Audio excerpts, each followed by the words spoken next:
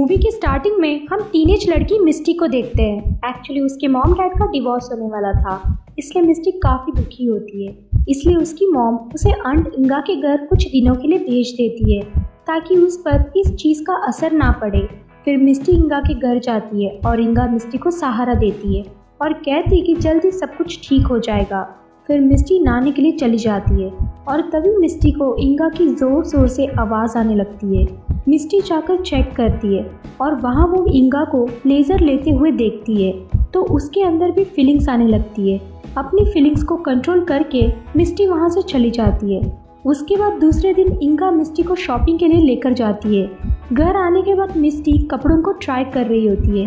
तभी वो इंगा से कहती है कि मेरी बॉडी आपकी तरह अट्रैक्टिव नहीं है, इसलिए कोई भी लड़का मुझे पसंद नहीं करता है। इंगा कहती कि तुम टीनेज हो और जब टाइम आएगा, तब सब ठीक हो जाएगा।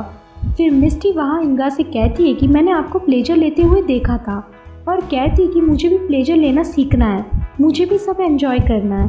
पर इंगा कहती है, जब टाइम आएगा, तब मैं तुम्हें सिखा दूँगी। उसके बाद इंगा के घर पर बिली आता है पैसे मांगने। एक्चुअली बिली इंगा के घर के सामने घास काटने का काम करता है। उसी के पैसे लेने आया होता है। वह मिस्टी को बिली अच्छा लगता है। उसके बाद रात को फिर से मिस्टी को इंगा की प्लेजर लेते हुए आवाज़ आती है।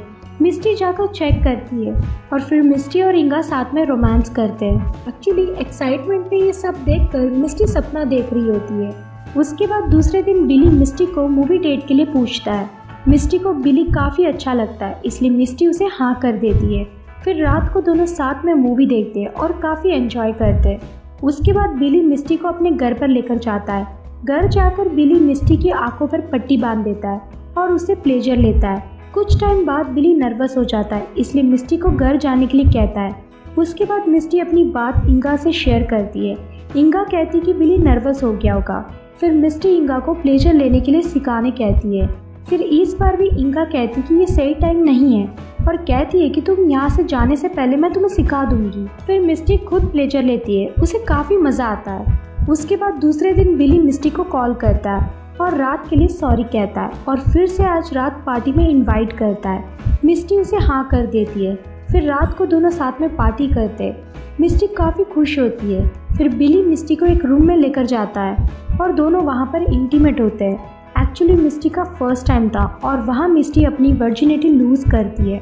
उसके बाद मिस्टी घर जाती है और वो इंगा से सब कुछ शेयर करती है। इस बात से इंगा भी काफ़ी खुश होती है। फिर इंगा मिस्टी से कहती है कि उसकी मॉम का कॉल आया था और अब उसे कल जाना होगा। तब मिस्टी कहती है कि जाने से पहले तुम मुझे लेस्बियन के बारे में कुछ सिखा दो।